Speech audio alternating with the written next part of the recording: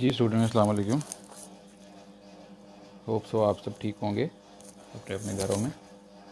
मैं लाइव आ चुका हूँ तो काइंडली आप मुझे ज्वाइन कर लें, ताकि हम लोग फिर अपना आज का लेक्चर शुरू कर सकें।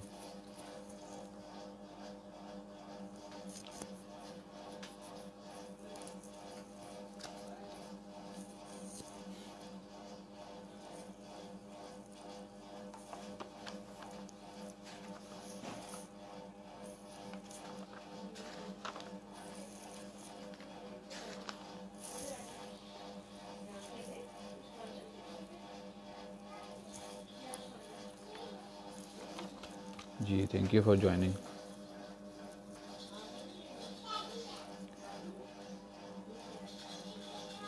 फॉर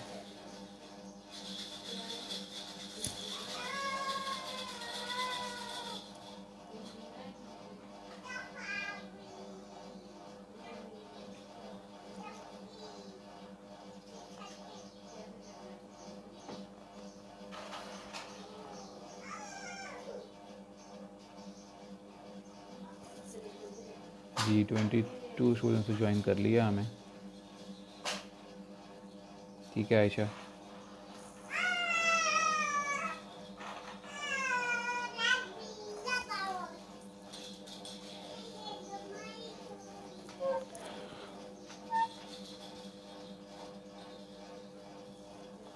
जी ट्वेंटी फाइव स्टूडेंट्स ने ज्वाइन कर लिए। जैसे ही हम फिफ्टी परसेंट में पहुँचते हैं मैं शुरू करता हूँ।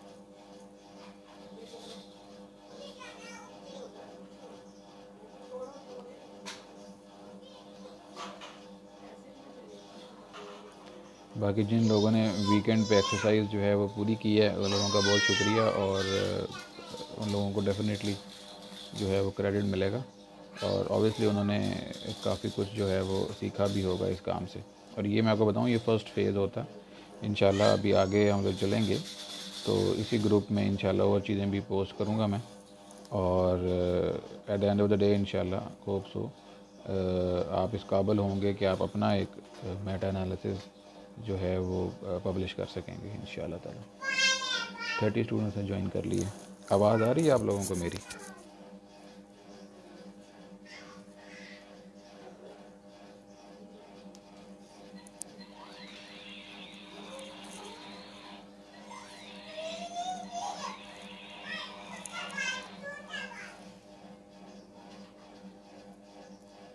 जी, आवाज़ आ रही है आप लोगों को मेरी? कोई बताएगा मुझे? जी thank you Daniyal thank you Aamna ये थर्टी फाइव स्टूडेंट्स ने ज्वाइन कर लिया हमें।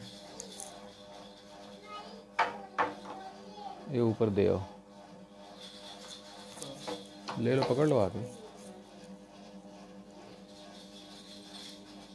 जी thank you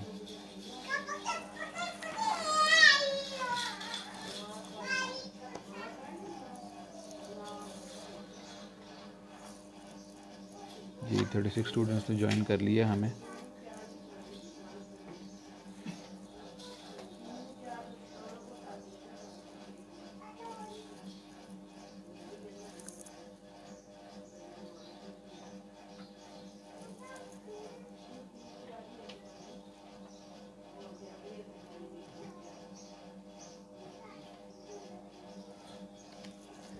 ji thirty six students ने ज्वाइन कर लिए।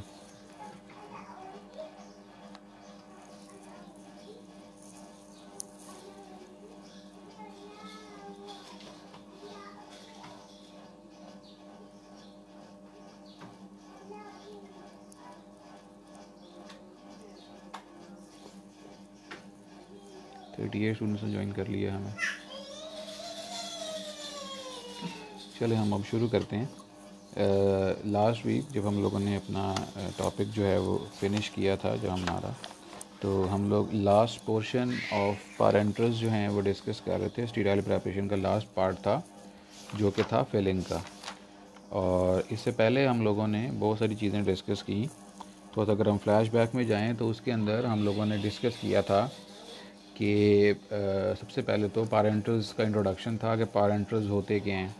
फिर हमने देखा कि पारेंटल्स में हम कौन कौन से फार्मूलेशन इंग्रेडिएंट्स जो हैं हम लोग ऐड करते हैं और डिफरेंट फार्मूलेशन इंग्रेडिएंट्स के क्या क्या रोल हैं हमारे पास। हम्म, चलो बाबा को पढ़ाने दो बेटा जाओ उधर जाके खेलो। तो वो हम लोगों ने देखा था। उसके बाद फिर हम लोगों ने एरिया जो प्रोडक्शन फैसिलिटी थी हमारी हमने वो डिस्कस की। कि प्रोडक्शन फैसिलिटी जो होती है पारेंट्रल की, वो कैसी होती है? उसके लिए क्या क्या रिक्वायरमेंट होती हैं? फिर हमने classification according to the air quality हम लोगों ने देखा। उसमें हमने यूरोपियन क्लासिफिकेशन देखी, उसमें हमने यूएसपी क्लासिफिकेशन देखी, हमने और मल्टीपल क्लासिफिकेशन जो हैं, वहाँ पे हमने डिस्कस की। फिर उसके बाद हम लोगों ने देखा कि कौन सा एरिया जो है प्रोडक्शन फैसिलिटी के अंदर वो स्टीराइल होता है और किस क्लास में होता है, और कौन सा एरिया जो है वो नॉन स्टीराइल होता है और वो किस क्लास में होता है।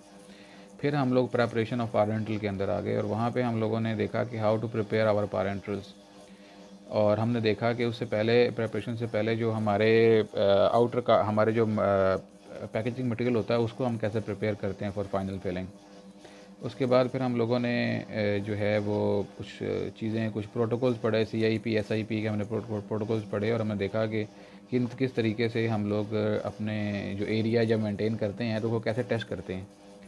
और उसमें हम लोगों ने फिर मीडिया फिर स्टडीज़ डिस्कस की। तो अब यहाँ पे हमारे पास जो लास्ट पार्ट है, जब सारे टेस्टिंग वगैरह आप परफॉर्म कर चुके होते हो, फिर आप फिलिंग करते हो अपनी। तो फिलिंग हम लोगों ने शुरू की थी। फिलिंग के अंदर हम लोगों ने जो हमारा पहला लेक्चर था, वहाँ पे हमने देखा था कि फिलिंग जो है वो कैसे होनी चाहिए क्या क्या मेथड्स यूज़ करते हैं। फिर हमारा जो डिवाइसेस हैं, जो फिलिंग में यूज़ होती हैं, वो कैसी होती हैं। अगर कोई विस्कस लिक्विड है तो वो कैसे फिल होता है। और अगर जो है फिर फाइनल फ़िल्टर जो हम लोग प्लेस करते हैं मिक्सिंग से पहले, वो कितने माइक्रोन का होता है वन माइक्रोन का होता है वो। तो यहाँ तक हम लोगों ने किया था।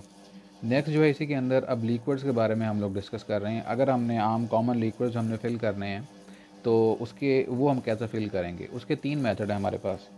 पहला मेथड जो है, वो कहलाता है वॉल्यूमेट्रिक फिलिंग दूसरा मेथड जो है, वो कहलाता है टाइम एंड प्रेशर डोजिंग और तीसरा मेथड जो है, वो कहलाता है नेट वेट फिलिंग तो ये तीन मेथड जो मैं फिर से रिपीट करता हूँ।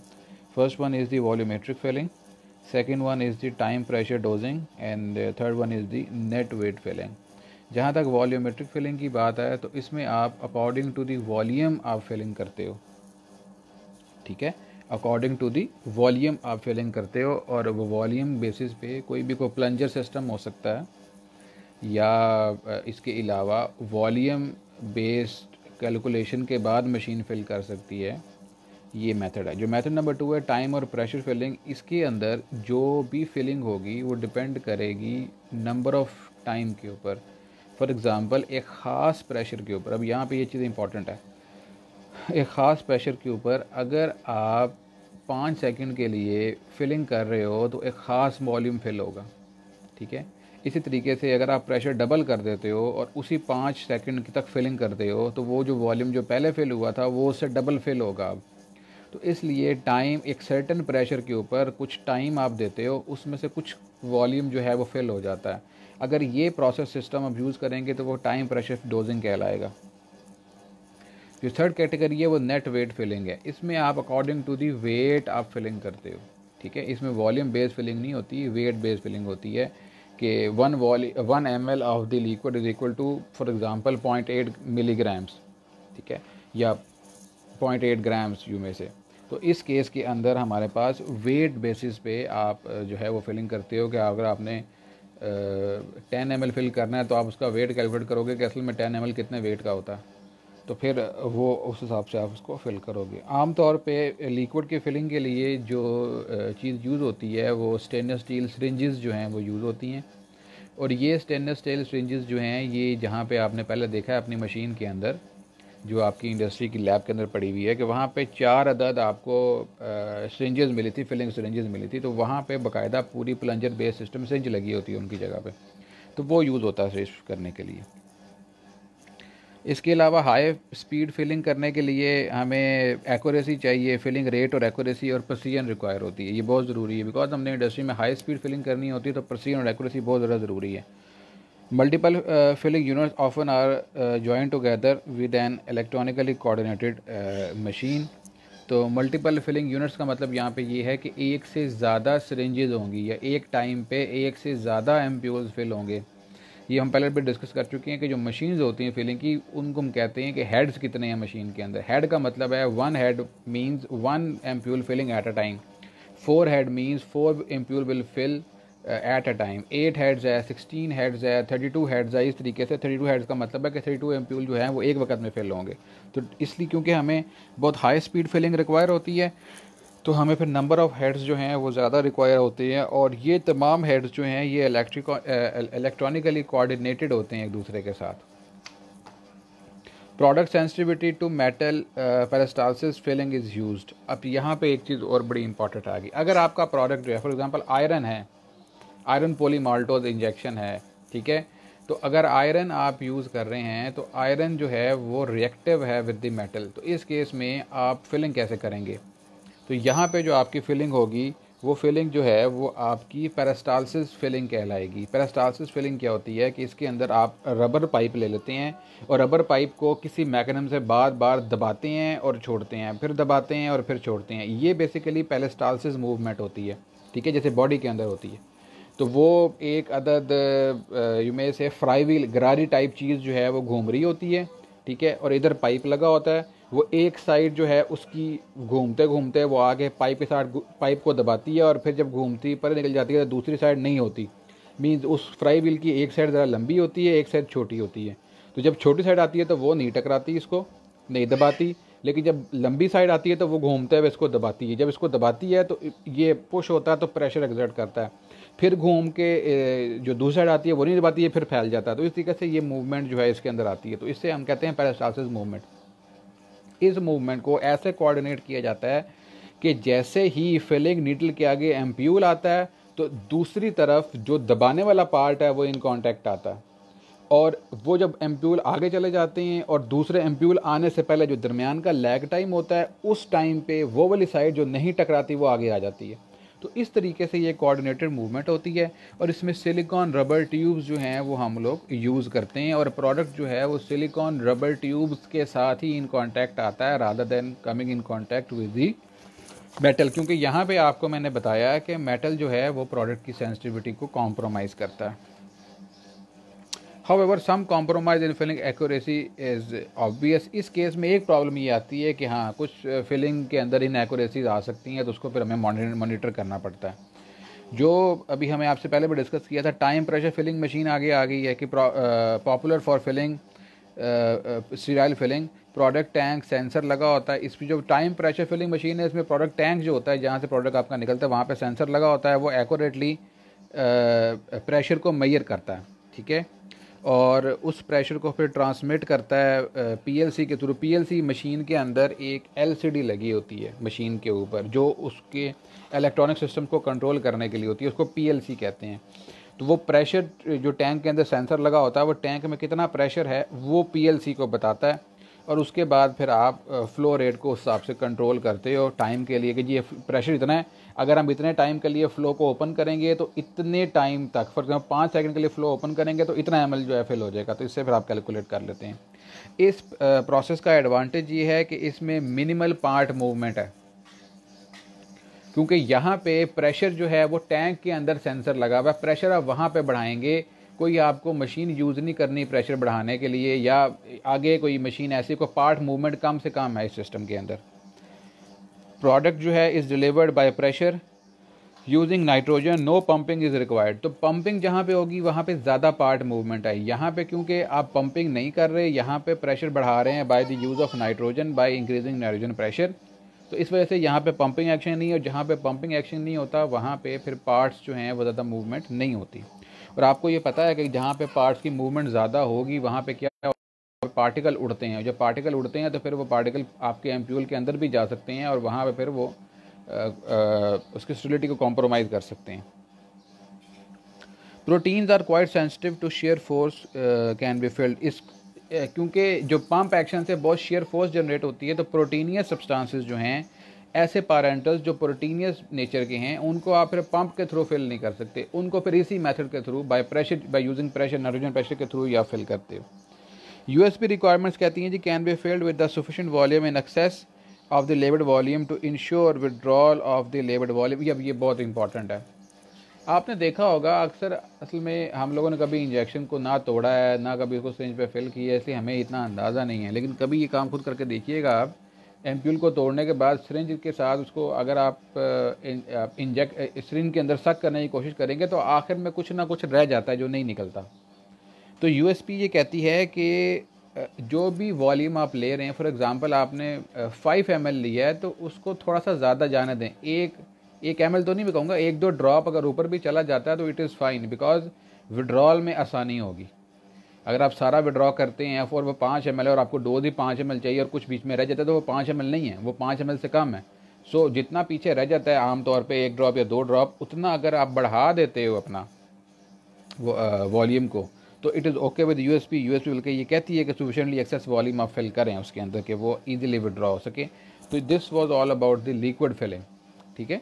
नेक्स्ट हमारे पास है हाउ टू फिल सॉलिड्स ठीक है? तो नेक्स्ट पोर्शन जो हमारा है वो सॉलिड्स का antibiotics are more difficult to subdivide evenly into containers solids में आम तौर पे एंटीबायोटिक्स आती हैं, और ये सॉलिड रियल मटेरियल्स वो होते हैं जो पाउडर फॉर रिकॉन्स्टिट्यूशन होते हैं।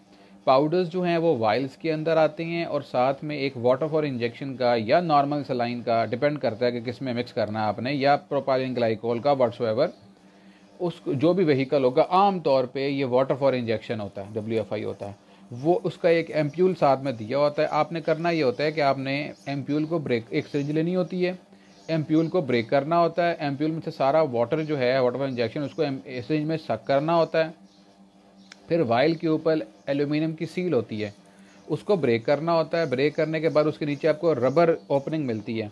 उस रबर के अंदर आपने उस सिरिंज को पेनिट्रेट करना होता है और सारे का सारा वाटर जो है उसके अंदर डाल के उसको शेक करना होता है। और शेकिंग का प्रोसीजर ऊपर लिखा होता है, कितनी देर तक आपने शेक करना है। इससे ज़रूरी नहीं है, हमेशा सस्पेंशन ही बने, इससे सोल्यूशन भी बनता है, ठीक है? अगेन अगर आप जब दोनों को मिक्स करोगे, ज़रूरी नहीं है, हमेशा सस्पेंशन ही बने सोल्यूशन भी बन सकता है। तो इन बोथ केसेस प्रॉपरली आपने उसको मिक्स करना है। जब मिक्स हो जाए, फिर आपने सिरिंज को जो आपने अभी निकाल ली थी, उसको री इंसर्ट करना है। और री इंसर्ट करने के बाद आपने वो सारा प्रोडक्ट जो है, उसको सक कर लेना है। और अब you are ready for the inject for the injection in the patient तो इस केस में अब सॉलिड जो वाइल के अंदर आपने डालने थे, इसकी डिवीज़न बड़ी मुश्किल होती है बिकॉज़ यहाँ पे सॉलिड कंटेंट पाँच मिलीग्राम दस मिलीग्राम पंद्रह मिलीग्राम बीस मिलीग्राम होगा। या चलो हंड्रेड मिलीग्राम भी है तो it very difficult to dispense such a low quantity evenly through automated systems because number one rate of flow is slow and of irregular अब पानी तो नहीं है ना कि जो एक रेट पे फ्लो करेगा, ये पाउडर है। एक तो उसका रेट ऑफ़ फ्लो स्लो होता है, दूसरा पाउडर जो है वो यकसा नहीं फ्लो करता इरेगुलर फ्लो रेट होता है उसका।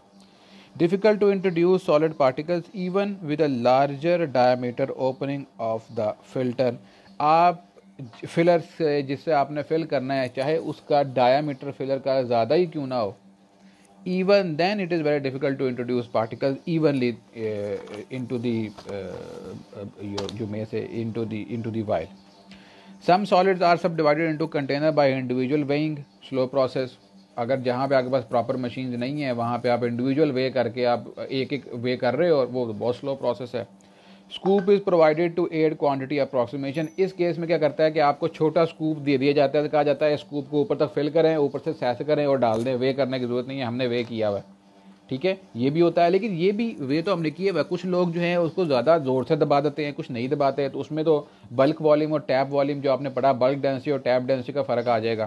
तो ये भी अगेन ये अप्रॉक्सीमेशन नहीं है प्रोसीजर नहीं है इसके अंदर।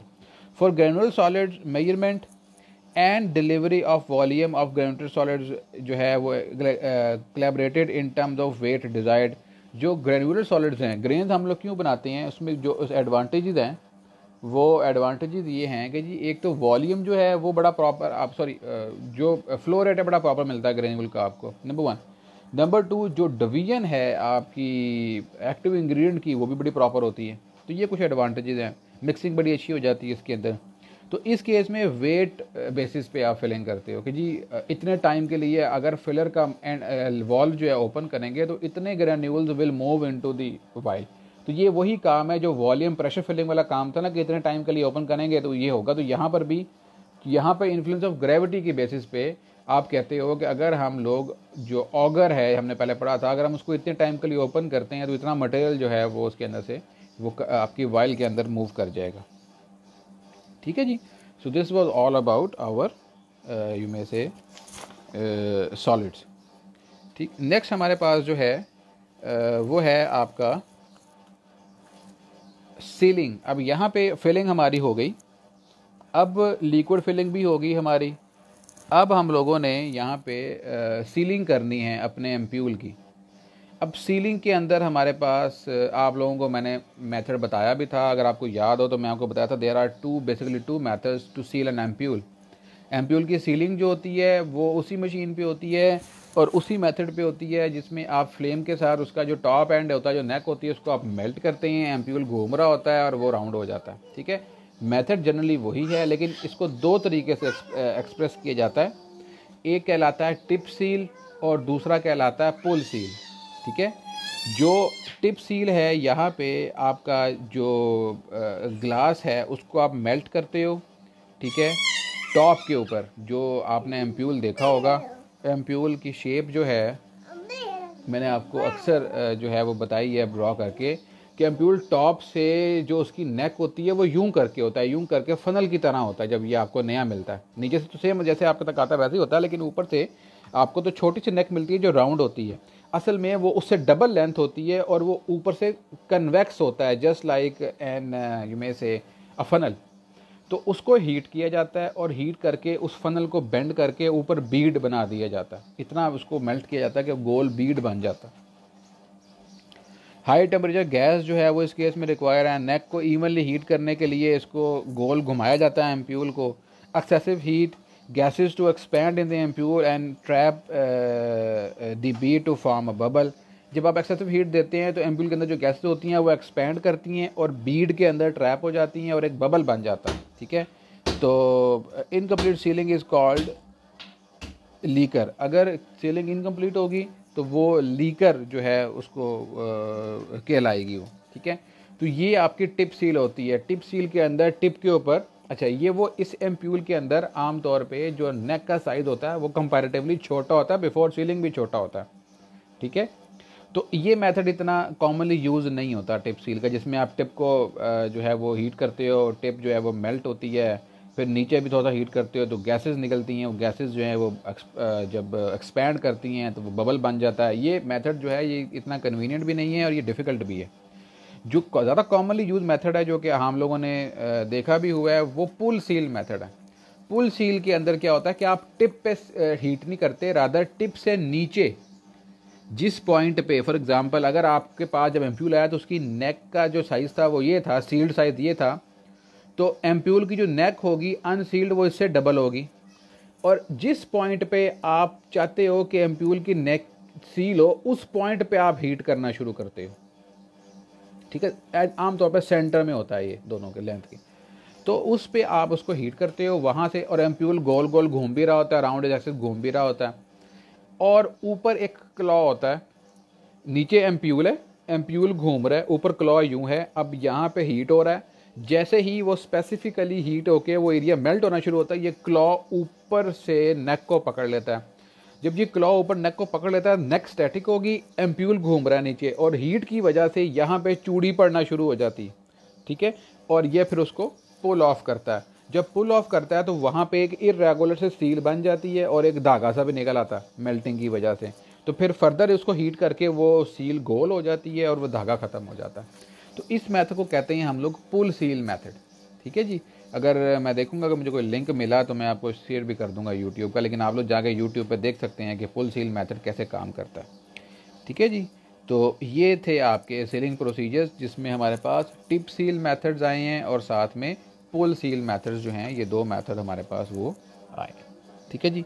बस जी, यहाँ तक आज हम करते हैं इसको, और बाकी हम लोग इंशाल्लाह जो है अपने नेक्स्ट लेक्चर में करेंगे। कोई क्वेश्चन आप लोगों ने करना है तो आप लोग मेरे से पूछ सकते हैं। ठीक है जी? अच्छा जहाँ तक आपके प्रैक्टिकल की बात है होप सो आपको अभी तक मैंने फोर प्रैक्टिकल जो है मैं भेज चुका हूँ, वो आप लोगों ने राइट अप कर लिए होंगे। कोई क्वेश्चन अगर आपको उसमें से वो कुछ चीज़ आपने डिस्कस करनी हो तो आप मेरे साथ उस पर डिस्कस जो है, वो आप कर सकते हैं। लास्ट टाइम जो प्रैक्टिकल मैंने आप लोगों को बताया था वो हमारे पास प्रेपरेशन ऑफ़ ट्रांसडर्मल पैच था आई गेस मैं ज़रा ढूंढ लूँ कि मैंने वो था कंप्यूटर किया है।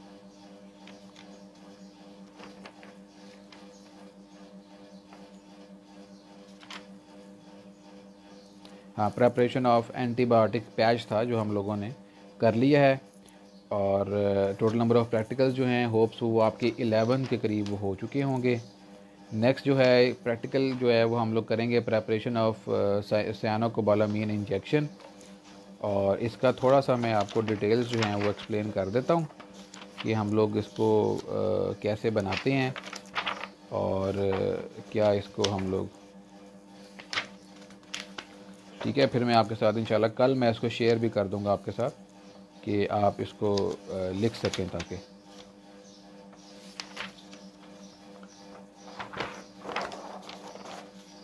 मैं ज़रा इसको ओपन कर लूँ।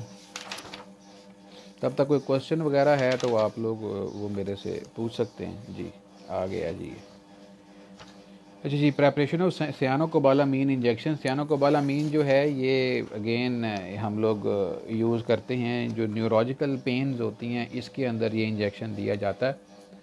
और ये नर्व को स्ट्रॉन्ग करता है। ठीक है सियानो कोबाला मीन की टैबलेट्स भी आती हैं, लेकिन इंजेक्शन भी बहुत, जिनको न्यूरोलॉजिकल पेन्स होती हैं जिनको बैक में पेन होती है शियाटिका का मसला होता है, या कोई और नर्व पेन है, उसको, उस पेशेंट को ये दिया जाता है। इसमें हम लोग जो हैं, वो बीकर ले लेंगे स्टीरड ले लेंगे वेइंग बैलेंस ले लेंगे। अच्छा अब असल में है तो ये इंजेक्शन और ये सारा कुछ हमें करना चाहिए स्टेरियल इन्वायरमेंट में। तो क्योंकि हमारे पास स्टेरियल इन्वायरमेंट जो है, वो तो हम लोग प्रिपेयर नहीं कर सकते। इसलिए जब कभी आप वापस आएँगे, इंशाल्लाह तो जो लेमिनर फ्लो हुड है हमारे पास माइक्रो के लैब में, उसके अंदर हम लोग एरिया मेंटेन करके, उसके अंदर हम लोग सारा ये काम करेंगे इन तो सियाना कोबालामीन जो है हंड्रेड एम हम लोगों ने प्रोड्यूस करनी है। सियानोकोबालामीन जो है, वो पॉइंट वन टू ग्राम्स लें कि हम साथ में सोडियम क्लोराइड लेंगे पॉइंट सेवन फाइव ग्राम्स साथ में सोडियम डाइहाइड्रोजन फॉस्फेट ये सोडियम डाइहाइड्रोजन फॉस्फेट जो है, ये बफर है। ये हम लेंगे point three grams benzyl alcohol हम लोग लेंगे पॉइंट वन बिंजाइल अल्कोहल जो है, ये प्रिजर्वेटिव हम लोग यूज़ करेंगे। और वाटर फॉर इंजेक्शन जो है, वो वॉल्यूम मेकअप करेगा हंड्रेड एम तक। तो ये चीज़ें हम लोग लेंगे, अपने ऑपरेटर्स को अच्छी तरीके से वॉश करेंगे ड्राई करेंगे स्टीराइल करेंगे। और बीकर के अंदर हम लोग वाट डब्ल्यू एफ़ आई लेंगे स्मॉल क्वांटिटीज़ के अंदर और उसको डिज़ोल्व करेंगे with point one M L benzyl alcohol इन दोनों को आप मिक्स कर लेंगे और ये आपका सोल्यूशन नंबर वन बन जाएगा। सोल्यूशन नंबर टू में आप रिमेनिंग जो पोर्शन होगा डब्ल्यू एफ़ आई का थोड़ा सा वो ले लेंगे। उसमें आप अपने सॉलिड्स जो हैं उनको आप डिज़ोल्व कर देंगे, जिसमें सियानो को बालामीन है और सोडियम क्लोराइड है सोडियम डाइहाइड्रोजन फॉस्फेट है, इनको आप उसमें सॉलेबल करेंगे। जब ये सॉलेबल हो जाएगा तो सोल्यूशन वन को और सोल्यूशन टू को आप दोनों को मिक्स कर लेंगे। मिक्स करने के बाद आप इस मिक्सचर को आ, फिर हमारे पास हम एम्प्यूल तो फिलिंग नहीं कर सकते लेकिन आप जिस भी कंटेनर में डालेंगे उस कंटेनर को फिर हम फाइनली स्टीराइल करेंगे। और जिसको हम टर्मिनल कहते हैं और हमारा इंजेक्शन जो है वो तैयार हो जाएगा। ठीक है जी? तो दिस वॉज़ दी प्रैक्टिकल जो कि मैं अभी आप लोगों को भेज दूँगा। और ये आप लोगों ने इसको राइट अप कर लेना है अपने पास। ठीक है जी तो ये आपका फिर ट्वेल्थ प्रैक्टिकल जो है वो हो जाएगा। और इसके बाद इंशाल्लाह दो से तीन प्रैक्टिकल और होंगे तो फिफ्टीन की आपकी इंशाल्लाह कॉपी पूरी हो जाएगी। बाकी इंशाल्लाह जब हम लोग मुलाकात करेंगे दोबारा क्लास में तो तब मैं कोशिश करके विद इन टू और थ्री डेज़ डेली बेसिस पे दो दो प्रैक्टिकल परफॉर्म करवा के ये कंप्लीट करवा दूँगा। ठीक है जी, कोई क्वेश्चन हो तो ग्रुप में आप लोग मेरे से पूछ सकते हैं। और अगेन जिन लोगों ने दूसरे ग्रुप का पार्ट बने जिन्होंने सिस्टमेटिक रिव्यू और मैटर एनालिसिस सीखने के लिए कुछ इंस्ट्रक्शंस की हैं, उनका बहुत बहुत शुक्रिया और होप्स उनको चीज़ें जो हैं वो समझ भी आई होंगी। और इन नियर फ्यूचर के अंदर हम लोग उसके ऊपर और काम भी करेंगे और इन ताला आपको मैं और भी चीज़ें कुछ हैं जो मैं आपको बताऊँगा which will certainly will help you ठीक है जी? थैंक यू वेरी मच इन कल दोबारा आपके साथ लेक्चर में इन मुलाकात होगी और तब तक के लिए अल्लाह हाफिज़। कोई क्वेश्चन हो तो आप लोग मेरे से व्हाट्सएप के ऊपर आप मुझसे पूछ सकते हैं। इस लेक्चर को उसामा अपलोड कर दीजिएगा और डेट के साथ लेक्चर नंबर के साथ मुझे बेटर डेट के साथ वीडियो भेजा करें। ट्वेंटी अप्रैल है लेक्चर नंबर भी डाल दिया करें उसमें, लेकिन डेट के साथ अगर भेजेंगे तो मुझे याद भी रहेगा कि मैंने ये अपलोड करना कि नहीं किया। तो डेट के साथ मुझे जो है आप ये भेज दीजिएगा। वीडियो को व्हाट्सएप ग्रुप में लगा दीजिएगा। और जो लोग वीडियो कन्वर्ट करते हैं व्हाट्सएप पे, वो इसका रिकॉर्ड ज़रूर रखें अपने पास अपने पास बैकअप ज़रूर रखें। या जो सी आर जी आर हैं काइंडली जितने भी लेक्चर अभी तक हुए हैं यूट्यूब पर तो ये पड़े हुए हैं, लेकिन इसका जो हंड्रेड एम का वर्जन है, जो हमारे व्हाट्सएप के ऊपर है, इसका बैकअप बना के रखें। ठीक है? लेक्चर वन से लेके अभी तक का ये बैकअप आपके पास होना चाहिए, ये मैं आपसे बाद में ले लूँगा, फिर जब हम आएँगे तो मैं आपसे कलेक्ट कर लूँगा। ठीक है जी? थैंक यू वेरी मच इन कल आपसे दोबारा मुलाकात होगी। अल्लाह हाफिज़।